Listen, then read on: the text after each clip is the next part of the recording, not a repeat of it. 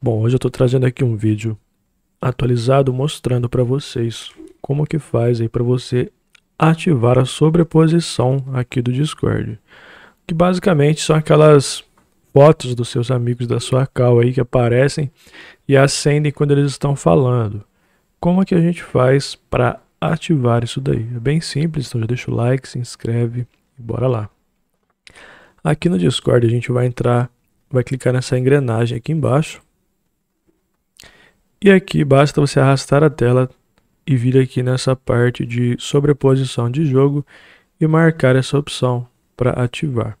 Beleza? Se eu tirei sua dúvida aí, deixa o like, se inscreve. Até mais.